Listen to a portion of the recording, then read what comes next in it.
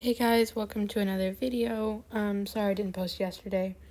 If you saw the video with the explanation, basically I had a headache and something and couldn't really type without my, like, couldn't really focus on typing, so decided to take a break that day. But then I promised that I'd do three today because basically we have a week off school and I have nothing better to do.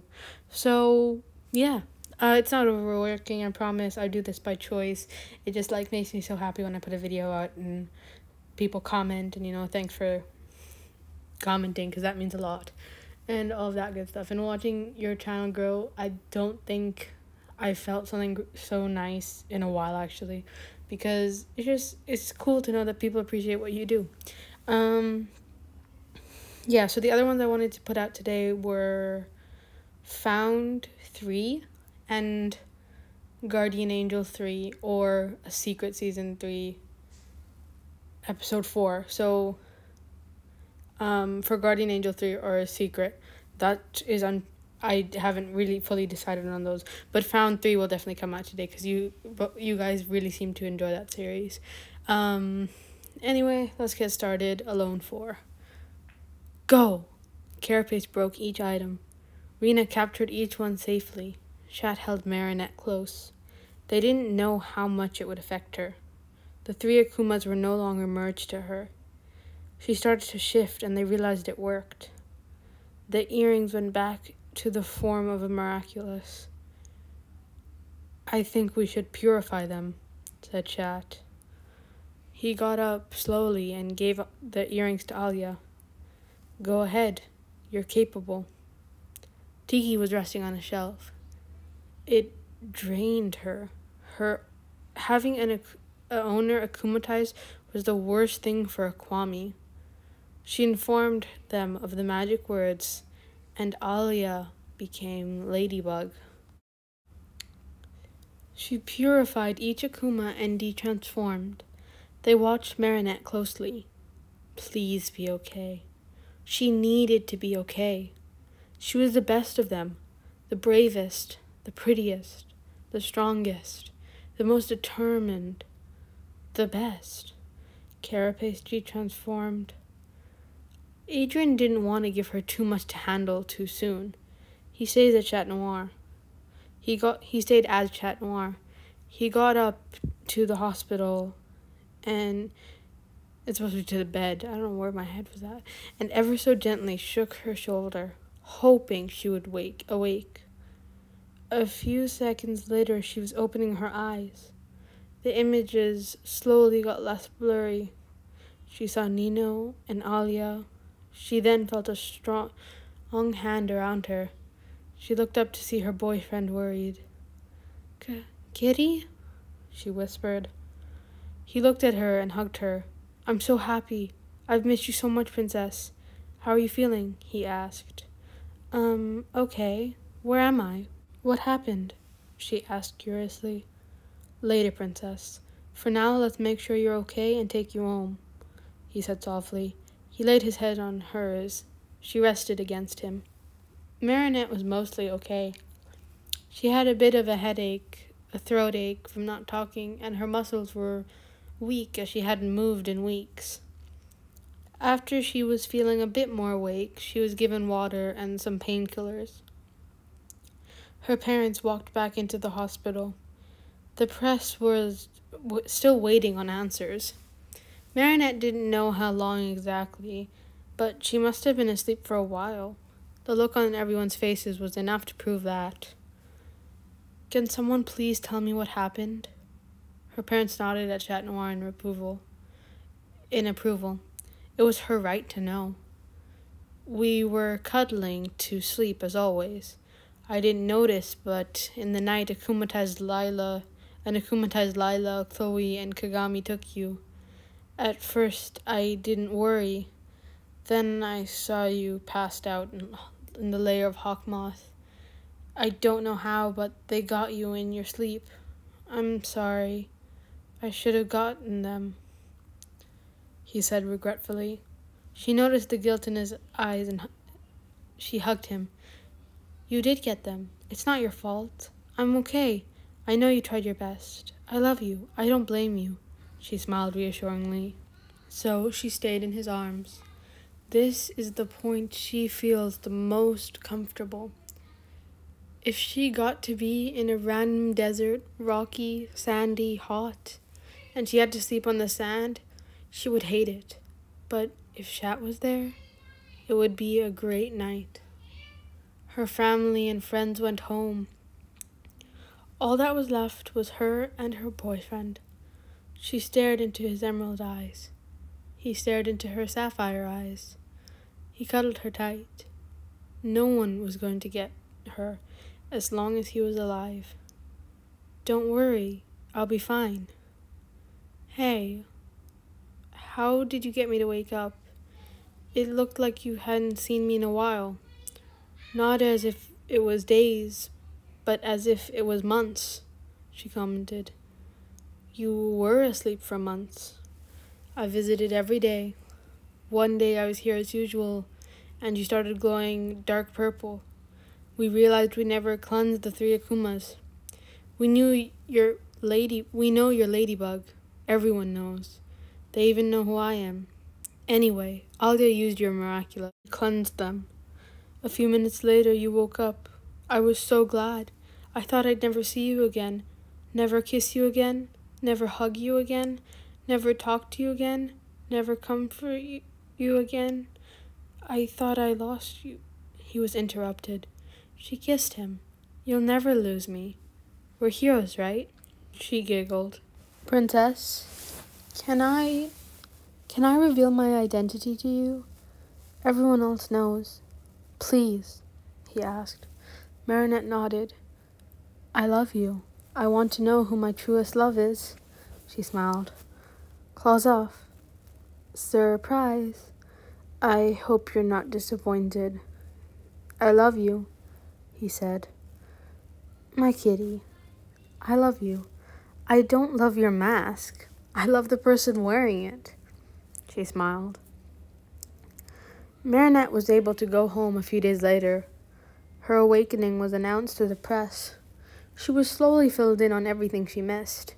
It was a lot to handle. She and Adrien continued dating. They really loved each other. Adrien brought her flowers every day, he treated her to fun trips. He cared for her. One day he took her on a date. It was a picnic, except the fact that it was on the Eiffel Tower. As they started to leave, he stopped her. Marinette, I love you. I can't imagine life without you. I love you more than anyone else. So, he got down on one knee. Will you marry me? He asked that magic question. He asked the magic question. She started tearing up. Of course, Kitty. He got up and hugged her. Holly is gonna freak. Actually, Paris is gonna freak, Marinette giggled.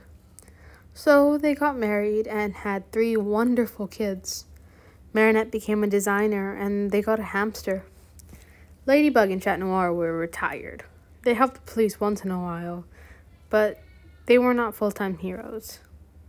For now. And that's the end of Alone, the series. There might be a season two. That's why I left the for now bit because I don't want to, you know, limited, limit it. Um, so I hope you enjoyed. As you might have noticed, there was more words than usual than usual in this one. I think it's like just under a thousand words. Um, yeah, I think it's like nine hundred ninety or four or something like that. So it's just under a thousand words, it's like a sentence away um, which is cool. That's nice. So I'm just trying to make up for yesterday because it sucked that I didn't upload. I'm losing my streak, and I've uploaded like 50 videos. Um, yeah. Um, so question of the day. Um, I need to get these prepared, man. Uh, what's your favorite animal? Let's just do that. Um, my favorite animal would be. Geez, I don't know. Um, I need to think of my answers and the questions in advance. I'll do that for the next video, which will come out later today. Um, my favorite animal. I like all animals. Like I was the type of girl when I was growing up, you know, to watch, you know, Wild Kratts and Octonauts and all those, you know, information type ones because I always just had fun memorizing the weirdest of facts and like you know arguing with my dad about them. Like for example, let me t- do a quick story time. Um, one time we were coming home from school, and my dad picked us up, which is really nice because I, my dad doesn't usually come pick us up. Like he's a very busy person, so it was nice that he can pick us up. Um, and on the way home, we get into we like you know we start coming up, and I'm like, hey Baba. No, it was in the car. I was like, hey Baba did you know that killer whales are actually dolphins? And he was like, No, they're not. And I was like, Yes, they are. Orcas are actually dolphins. And he was like, No, they're not. So we argued and argued the whole way home. And let me tell you, it was my biggest joy when he said he was about to Google it. And I got, we got in, we were about to walk up, we were about to get to the house. And I was like, Fine, Google it. And he was like, Okay then. So he takes out his phone and you know he starts typing in is a killer whale a whale or a dolphin. And when I saw his face, I broke down laughing. I was so happy. I realized exactly what he'd read just by his face. He was so annoyed and I was so happy. He was just like, fine, they're whales, they're dolphins. But it says here that dolphins are actually a subspecies of whales, so we were both right. And I was like, hold on, hold on, hold on. That's not how it works. I'm right. And he's like, no, we are right. And I was like, fine, we're right, but I'm more right. Uh, and that was that was a couple years ago, but it's still one of my favorite memories ever. I love proving my dad wrong. Or when we were in the plane, oh, I'm going into full story mode. You guys can leave now. You don't have to stay, but like if you want to hear more stories about my life once we were in a plane and we were sitting together and you know i got bored of you know watching movies and whatever because like it's a plane it doesn't have every movie it takes a while. Um i had a good selection of movies but i got bored of movies. So i was like hey Bob, let's play some brain games. So um instead of playing a game on the thing we wanted to play together so i pulled out my phone and i was like let's play this game. And um it's called like 2048 and basically you have to match up numbers and all this stuff.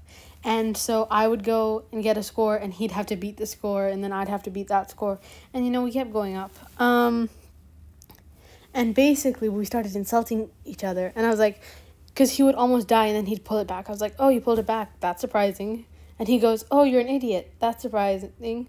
Oh, wait, it's not. And I thought of the best comeback. I was like, you're right, it's not look who raised me. And I was so proud of myself. I know it's not even that smart. I was just like, look who raised me. And I felt so good in that moment. You wouldn't believe it. Okay, one more and then I'll leave. Um, I'd be surprised if people are still listening. But the other story is one day he walked into. So we were at my grandparents' house, and me and my brother, as usual, were, were being antisocial. So we were, you know, staying on our iPads or on the TV. I think it was our iPads. Um, and he walks in and he goes, From now on, when I walk in, the iPads go down. We should talk to each other.